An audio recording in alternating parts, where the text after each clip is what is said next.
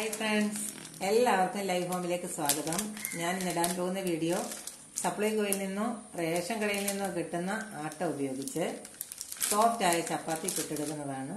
എല്ലാവരും പറയാറുണ്ട് റേഷൻ കടയിലെ ആട്ടയുടെ ചപ്പാത്തി കട്ടിയാണ് ഒട്ടും സോഫ്റ്റ് അല്ല എന്ന്. സോഫ്റ്റ് ആയ ചപ്പാത്തിയും ഒരു സൈഡ് ഡിഷുമാണ് ഇന്നത്തെ വീഡിയോ എല്ലാവരും ഈ വീഡിയോ കാണണം സപ്പോർട്ട് ചെയ്യണം.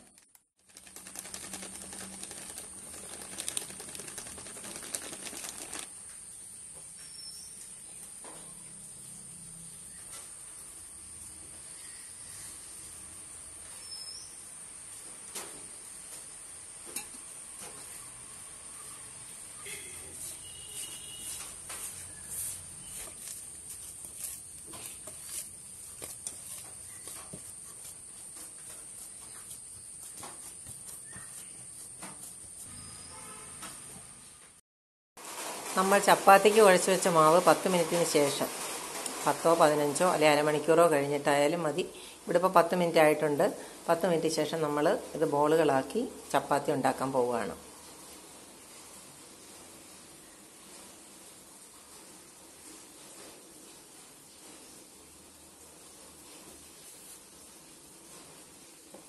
നമ്മൾ എണ്ണയൊന്നും തടവിയല്ല.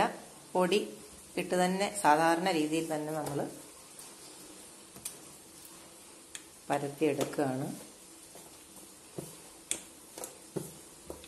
പച്ചവെള്ളവും ഉപ്പും മാത്രമേ നമ്മൾ ഈ മാവിനകത്ത് ചേർത്തിട്ടുള്ളൂ. മാവ് നല്ല സോഫ്റ്റ് മാവാണ്. നന്നായിട്ട് നമുക്ക് പരത്തിയെടുക്കാൻ സാധിക്കുന്നുണ്ട്.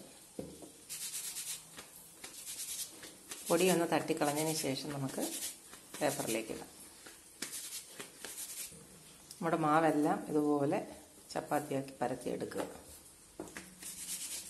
ഇത് ഷുഗർ പേഷ്യന്റിനോ പ്രഷറുള്ളവർക്കും ഒക്കെ കഴിക്കേണ്ടത് കൊണ്ട് നമ്മളിതിനകത്ത് യാതൊരു വിധ എണ്ണയും ഇതിനകത്ത് ചേർക്കുന്നില്ല. അതുപോലെ തന്നെ നമ്മൾ ഗ്യാസിൽ വെച്ചത് ചുട്ടെടുക്കാനും കൂടാണ്. അപ്പോൾ അതുകൊണ്ട് അതുകൊണ്ട് ഈ ചപ്പാത്തി ആർക്ക് വേണമെങ്കിലും കഴിക്കാം. ഒരു കുഴപ്പമില്ല നമ്മുടെ ദിൽച്ചിടിയ എന്ന് പറയുന്ന ചെടി തണ്ട നമ്മുടെ ഇവിടെ ജനലിൽ ഇങ്ങനെ കർട്ടൻ പോലെ തൂങ്ങി നിൽപ്പുണ്ട് നേരത്തെ ഞാനിതൊരു ഷോർട്സ് ആയിട്ട് ഇട്ടതായിരുന്നു.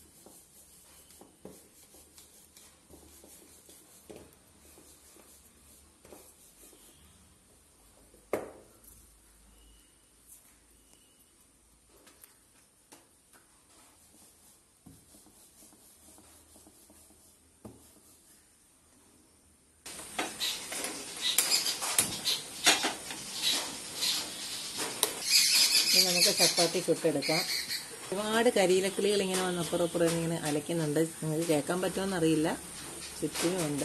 മഴയൊക്കെയാണ്. എല്ലാം നനഞ്ഞൊക്കെ നിൽക്കുന്നു. ഇവിടെ ചട്ടി ചൂടായി.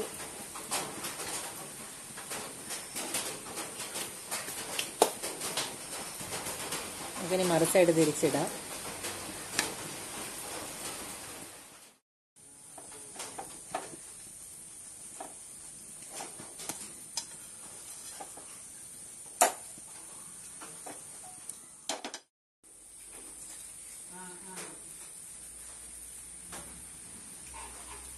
ഇത്രയും സോഫ്റ്റാണ് ചപ്പാത്തി. സപ്ലൈകോയിലെ പൊടിയാണ്. അതുകൊണ്ട് നമ്മളത് കൊള്ളത്തില്ലെന്ന് വിചാരിക്കേണ്ട. നല്ല ചപ്പാത്തിയാണ്. വളരെ സോഫ്റ്റായിട്ട് നമുക്ക് കഴിക്കാനായിട്ട് സാധിക്കും. നല്ല ചപ്പാത്തിയാണിത് വീഡിയോ ഇഷ്ടപ്പെട്ടെങ്കിൽ എല്ലാവരും ഷെയർ ചെയ്യുക സബ്സ്ക്രൈബ് ചെയ്യുക ബെൽ ബട്ടൺ അമർത്തുക.